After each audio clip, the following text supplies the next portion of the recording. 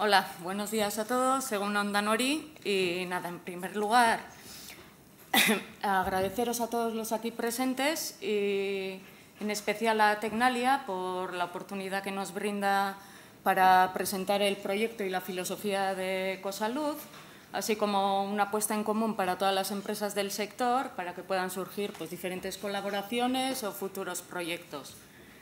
Bueno, eh, vamos a hablar sobre los alimentos en base a las proteínas vegetales y luego hablaremos un poco de las proteínas, de la estructura y así, luego las proteínas vegetales y de los productos que, comercializa la empresa Ecosalud. Bueno, en primer lugar, eh, como introducción voy a hablar un poco sobre los orígenes y la filosofía de Ecosalud.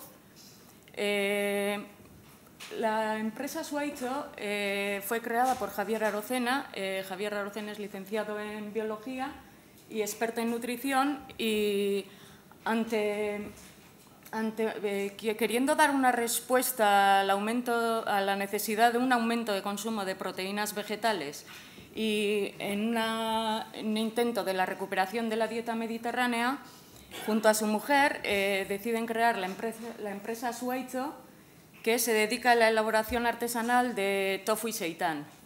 La empresa se crea en 1981 y es pionera en el Estado español en la elaboración de estos productos.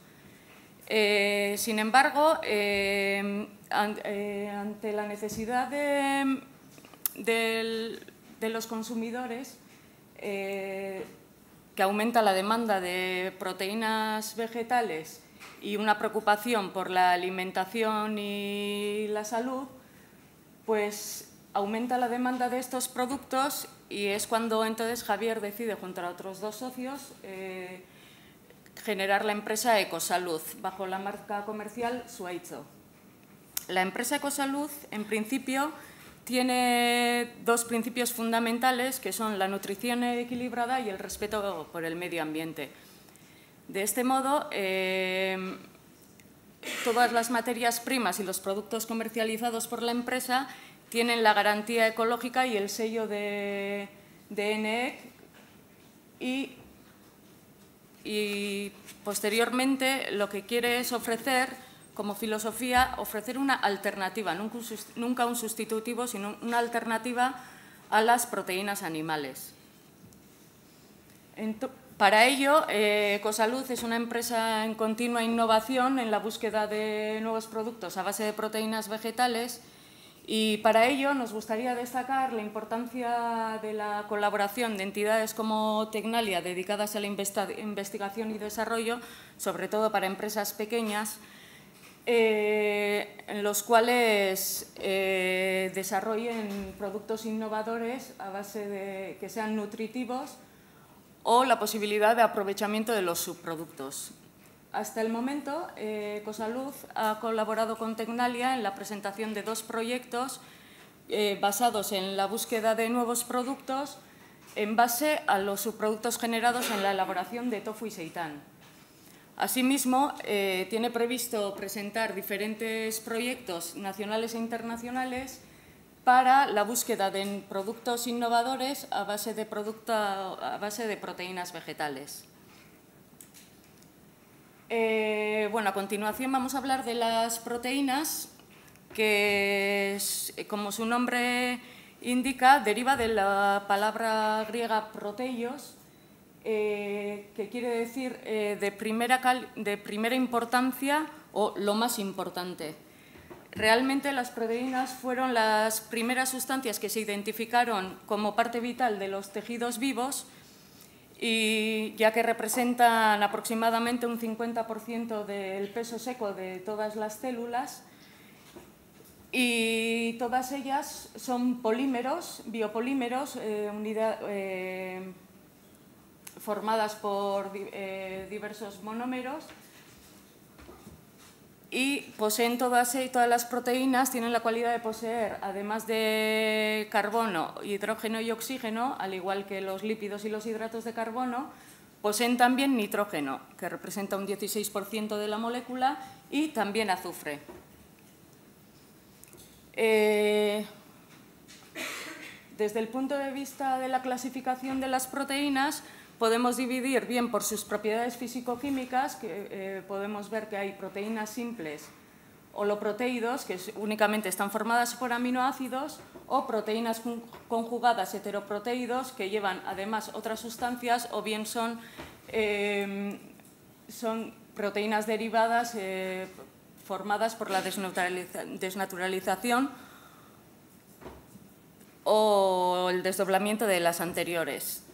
También se pueden eh, clasificar por su forma, eh, que pueden ser fibrosas, globulares o mixtas. Las fibrosas son largas y son insolubles en, agua, entonces son proteínas que no podemos digerirlas y normalmente se encuentran formando parte de los tejidos de soporte y protección, como pueden ser, por ejemplo, el colágeno, la, la, fibrina, la queratina, etc.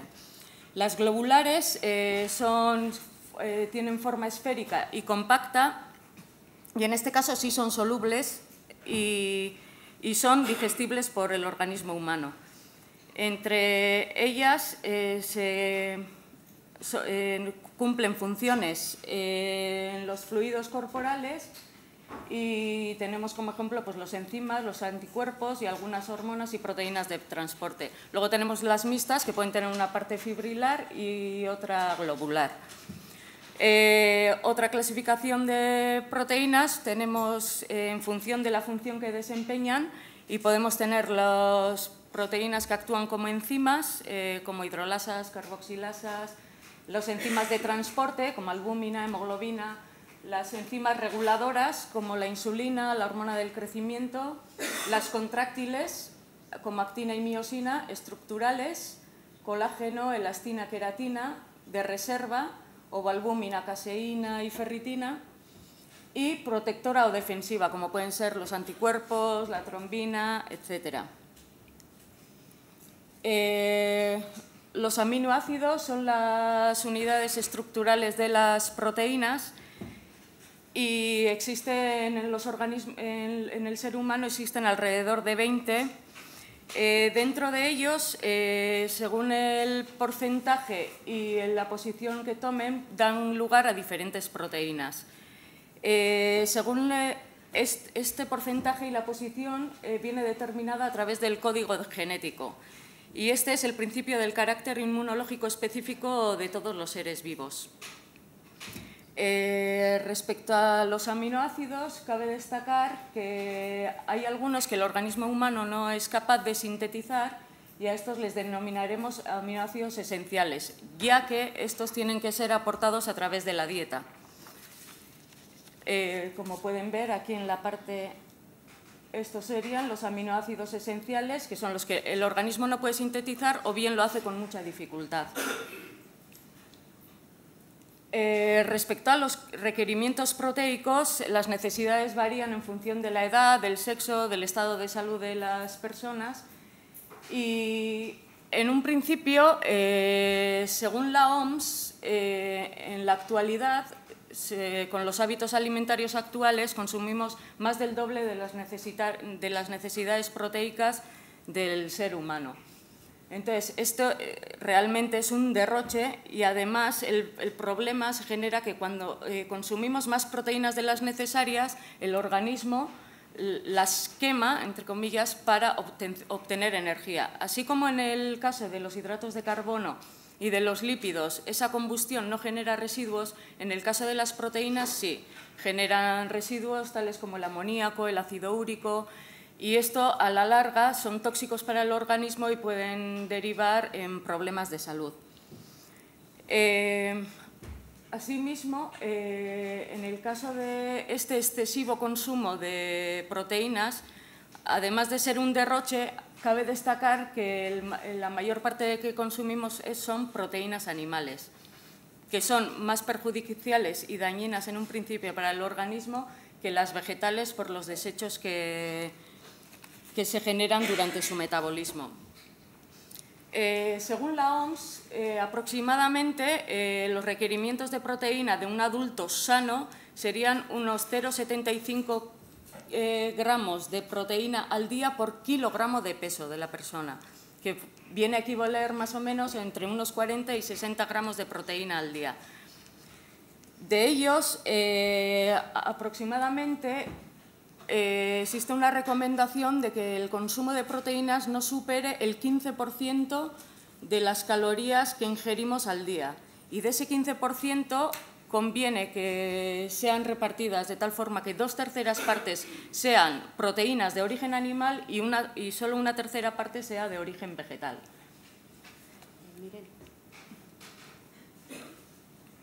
Como fuentes de proteínas tenemos las proteínas animales y las proteínas vegetales. Eh, las proteínas vegetales eh, son fundamentalmente las legumbres, los cereales y los frutos secos y semillas oleaginosas. Dentro de las proteínas vegetales eh, cabría destacar la soja, que junto con el trigo es la fuente de proteína vegetal más rica en proteínas, y también cabe destacar que la soja nunca se consume de forma cruda porque tiene un factor antitrípsico que impide la digestión de las proteínas a nivel del estómago. Entonces, este factor desaparece en la cocción o en los diferentes procesos bioquímicos como pueden ser la fermentación o la coagulación.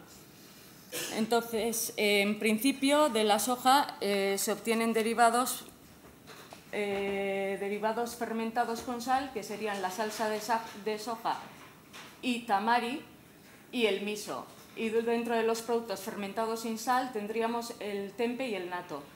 Cabe destacar que los productos fermentados a base de soja contienen la vitamina B12 y es, eh, esta vitamina es propia de los alimentos animales y la única fuente vegetal donde las podemos consumir es a través de los productos fermentados a base de soja.